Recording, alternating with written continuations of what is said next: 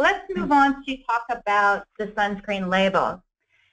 So it can be complicated because in the U.S., sunscreens are um, are regulated as drug products, and so you will find that they do have drug fact labeling on them. And uh, really, uh, what the information you need, most of it is on the front panel of the sunscreen. You'll find the SPF will be listed there, um, and we recommend again an SPF 15 or higher. Um, definitely SPF 30 or higher if you're extended stays outdoors. Broad spectrum is incredibly important. Um, we talked about how you need broad spectrum to protect against both the UVA, the aging rays, and the UVB, the burning rays. And then um, look for the broad spectrum because only products labeled with that broad spectrum and SPF 15 or higher are um, really shown to, to reduce the risk of skin cancer and um, early skin aging and help against sunburn.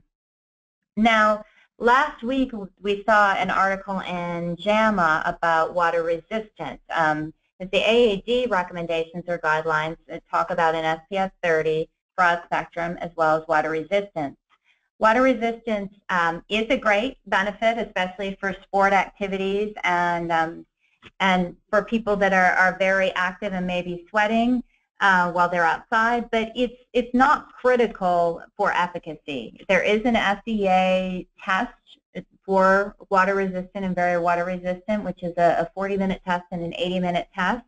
But um, it's not essential for efficacy for these products. So it, again, it's a consumer choice whether people want to have water resistance.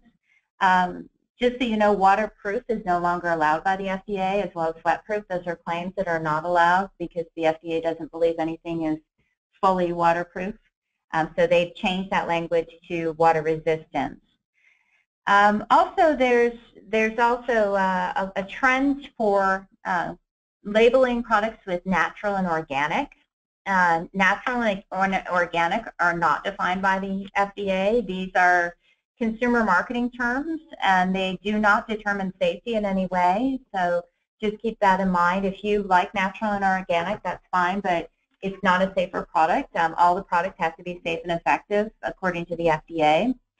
There's also some other interesting claims out there that um, may be important to you, tear-free. Um, again, children's and baby products, that, that can be a great benefit when you're um, applying a product to a child. So there are some really interesting things out there um, and that you can look for on the label.